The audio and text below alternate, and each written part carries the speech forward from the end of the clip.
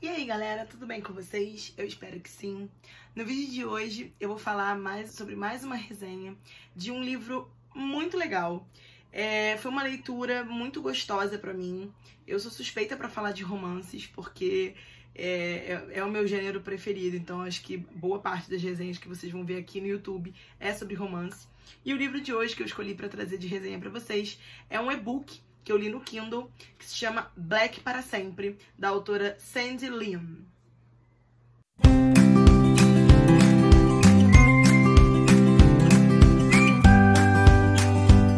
Bem, gente, esse livro, ele já tem uma capa que eu achei muito bonita. Assim, eu vi o livro físico também, fiquei com muita vontade de comprá-lo na Amazon, mas eu falei, não, Bianca, você já tem um e-book, você já leu, não tem necessidade de gastar outro dinheirinho, né, querida? E aí, assim, a capa é bem bonita, tá vendo? É um casal, vocês estão vendo ali, no fundo de uma praia, né, uma coisa bem, assim, lúdica e tal. É, esse livro é da editora Valentina, e a autora best-seller do New York Times, Sandy Lynn, é quem assina por esse livro. Bem, gente, esse livro aqui, ele. Eu não dava nada por ele, tá? E o título que você lê como Black para sempre, Black é o sobrenome do protagonista da história, que se chama Connor Black, né? E o Connor, ele é um CEO, né? Famosérrimo, chiquérrimo, cheio da grana. E ele tinha um relacionamento meio conturbado com a ex, né? Ele, ele era meio meio perturbado mesmo, sabe? É aquele famoso riquinho, mas que precisa de senso, sabe? Vamos acordar pra vida, meu filho? É meio isso, né? E aí, num dia, numa boate, é, ele encontra a Ellery, que é a nossa protagonista, a Elle, né? A Ellery, ela. Um, vou contar um pouquinho da história da Ellery antes de falar desse encontro dos dois, tá?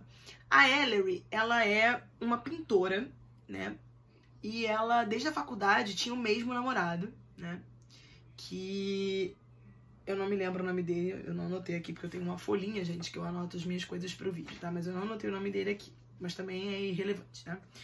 E a Ellery, ela tinha esse namoro com esse cara há quatro anos. Quatro anos, gente. É mais tempo do que eu tenho com meu namorado. Mas, é, desde a faculdade que eles se conheciam e tudo mais, tinham esse romance, e o cara simplesmente dá um pé na bunda da garota, do nada. Sabe? Tchau, tchau e benção, vai embora. E aí tu fica assim, cara, que, que esse safado largou a menina? Por quê? Depois, com o passar do livro, você vai entender por que, que, que ela foi, né, abandonada pelo, pelo ex. Mas essa menina, ela tem uma história de vida familiar muito sofrida. Porque ela perdeu a mãe é, com uma doença e tudo mais. E o pai dela se tornou alcoólatra por causa disso. Então tem uma, uma temática bem assim triste do lado da família dela. E ela também vai ter um segredo aí que ela nunca contou para ninguém. E a gente fica sabendo disso no livro, tá? Não vou falar aqui. Pois bem, voltando ao encontro dela com o Connor, né? A amiga dela de vizinha, né? A vizinha amiga, vizinha e amiga dela, a Peyton, ela vendo a tristeza da amiga, né, da, da fossa, né, de ter tomado um fora do, do ex, fala pra ela, pô, amiga, vamos numa boate, vamos se divertir, vamos curtir a noite, né, já que você tá assim na fossa, eu não quero deixar você assim. E aí ela fala, tá bom, vamos lá, vou, vou esparecer um pouco. Quando ela vai nessa boate, o Connor está lá. E aí o Connor tá super alterado, bebaço, ruinzaço. E aí, tipo, ela fica reparando que o cara é muito gato, né? O cara é, sei lá, um Caio Castro, né? Mistura de Caio Castro com Cauan Raymond, sabe? Aquela coisa assim, louca, lindo, maravilhoso. E aí ela fala, cara, ela fica só reparando de longe e ele nem aí, porque ele tá bebaço, né? Só que ela tá vendo que não era pra ela estar tá ali, sabe? Ela sente, assim, e essa personagem eu gostei particularmente muito dela. Porque ela é muito decidida, ela é muito firme, ela não é submissa, ela é aquela mulher que, porra, sabe, abraça o problema e peita o problema, sabe? Independente dela estar tá na fossa, nem parecia que ela tava. E aí ela pega e vai embora. Fala, cara, eu vou embora porque não era pra eu estar aqui nessa boate, não tô no clima. E ela vai embora. E ela tá na porta da boate, né? Conversando com segurança, quando esse cara, o Connor, passa mega alterado, brigando, gritando com, com alguém na, na boate. E ele é tirado da boate. E aí ela fica com pena desse cara que tá tão na merda, né? Tão ruim aqui na situação. Cara, vou levar ele para casa, né? Eu não me recordo como é que ela descobre o endereço dele. Eu acho que é na carteira dele tem o endereço, um cartão dele, né? Porque ele é um CEO, então tem o endereço dele. E ela leva ele para casa. E aí ela, né, pega o dinheiro dele na carteira e paga o táxi. Ela faz tudo, gente, tudo.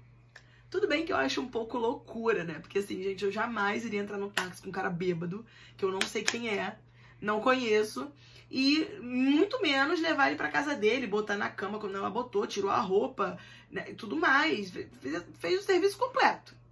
Falei, gente, essa menina tá querendo se redimir do quê? Se ela que foi chutada, né? E, gente, o engraçado é quando o Connor acorda.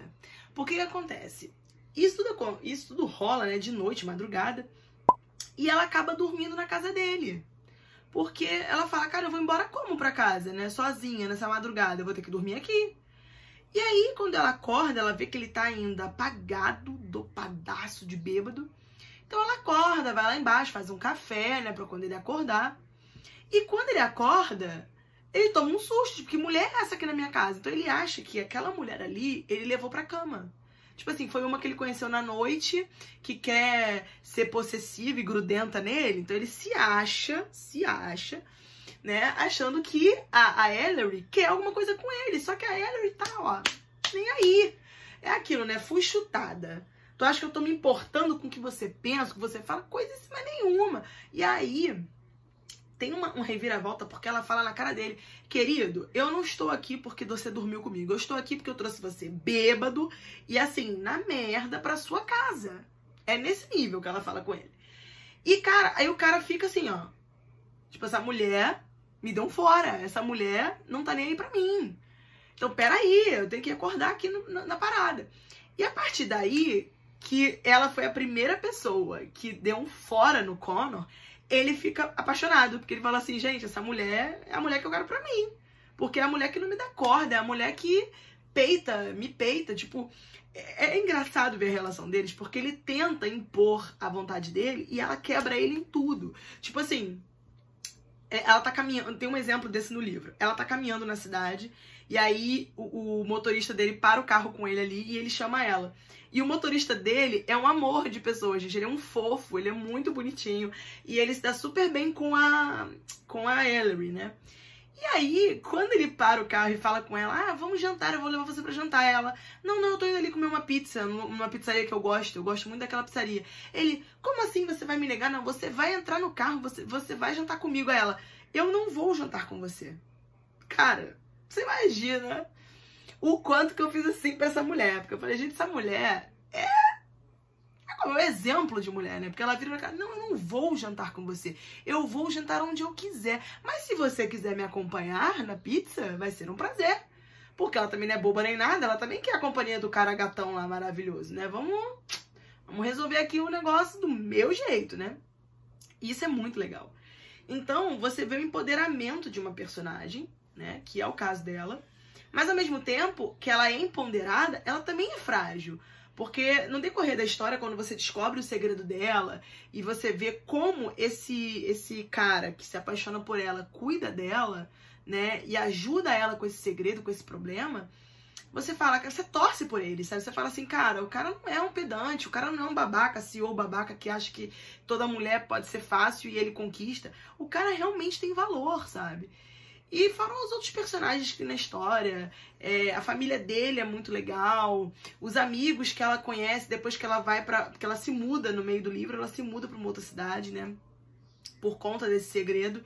E aí ela conhece outros amigos que são também muito legais. Então tem toda uma, uma história bacana, tem toda uma construção de, de vínculo dela com o personagem que eu achei incrível.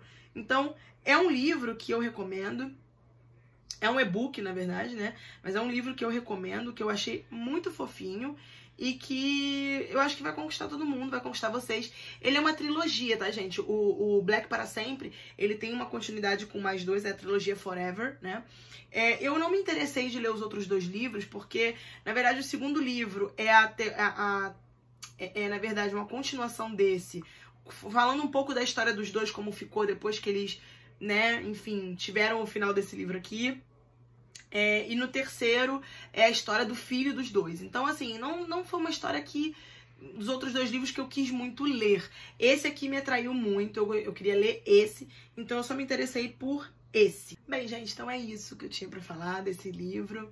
Espero que vocês gostem da leitura, se divirtam com a Ellery, com o Connor, com a Peyton, porque ela é muito divertida, amiga dela. E assim, eu trouxe esse livro porque é, é muito importante que as mulheres saibam do próprio valor, sabe? E de ter esse empoderamento, de ter essa própria voz para poder falar. E a, a Ellery, ela mostra muito isso no livro, sabe? Quando ela peita o Connor, você não tem que somente ir porque ele é homem, eu tenho que peitar mesmo. Não, não é por isso. É para mostrar que você tem uma opinião, que você pode aceitar a opinião do seu parceiro, do namorado, do, que, do cara que tá gostando de você, mas que você também pode impor a sua e talvez até mesmo convencê-lo de que o que você tá falando é legal também, sabe? Então, é, eu gostei muito dessa história. É um romance muito cálido, muito quente, muito... tem cenas hot, ele é um pouco hot também, tá? Mas ele é muito gostoso de ler, você se prende à história e se prende ao casal. É, se inscreve no canal, deixa o like aqui pra mim, me fala nos comentários o que, que você achou do livro, o que você gostou da resenha, se você ficou com vontade de ler também. É, me segue no Instagram, nas redes sociais, porque eu sempre tô colocando um conteúdo legal lá no Instagram também e eu garanto que vocês vão gostar muito. Um beijo e até o próximo vídeo.